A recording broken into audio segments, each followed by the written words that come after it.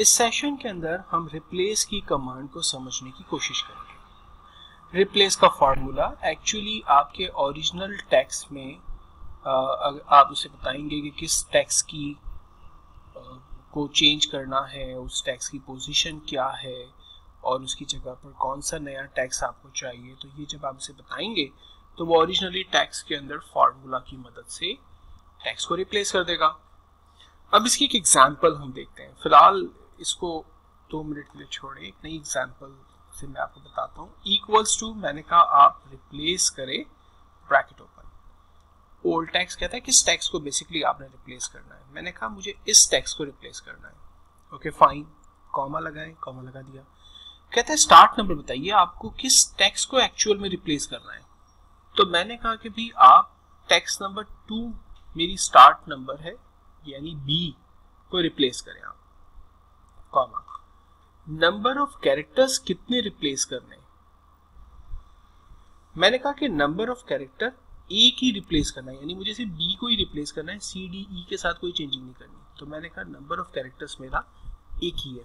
Okay fine comma new text बताइए, चाहते क्या है आप?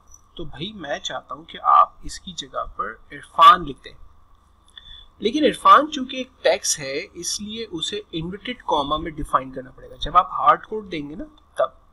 तो मैंने इरफान को यहाँ पर इन्वर्टेड कॉमा में डिफाइन किया and then bracket close and then enter आप देखें ए इरफान सी डी ई तो खाली जो बी है, वो रिप्लेस हो गया इरफान के साथ। अब इरफान में स्पेस नहीं आ रहे।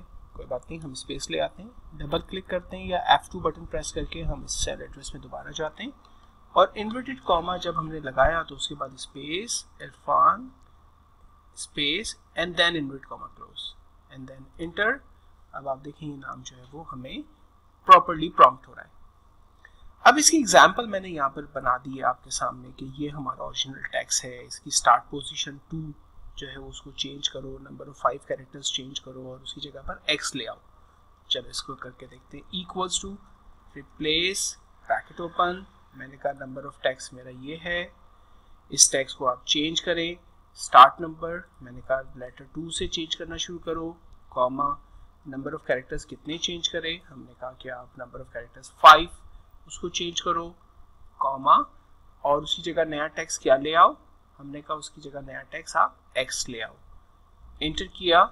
अब आप देखें ए के बाद B C D E F ये पाँचों लेटर रिप्लेस हो गए एक्स के साथ। इसी तरह से अब मैं नंबर टू यानी बी को एक ही लेटर को चेंज करना चाहता हूँ, उसी जगह मैं हेलो लिखना चाहता हूँ। हमने फार्मूला लिखा equals to replace bracket open text हमने डिफाइन किया number of characters start character two है। नंबर ऑफ़ कैरेक्टर एक ही है और उसी जगह पर क्या लेकर आए? हेलो लेकर आ जाए। तब देखें हेलो उसके बीच में आ गया। और इसी को ट्रैक कर लेते हैं।